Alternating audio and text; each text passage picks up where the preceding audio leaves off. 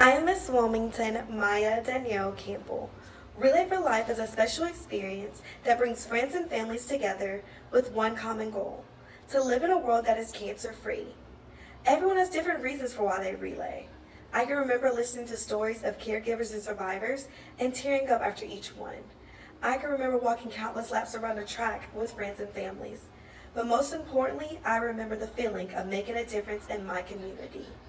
After seeing the amount of money that my small community was able to raise for the American Cancer Society, I knew that relaying for this cause did not just take one day, but all 365, much like the job of Miss North Carolina. So have your friends and families vote for me for ABC 11's People's Choice on abc11.com forward slash Miss NC. And don't forget to tune in June 22nd to watch the 2019 Miss North Carolina competition live.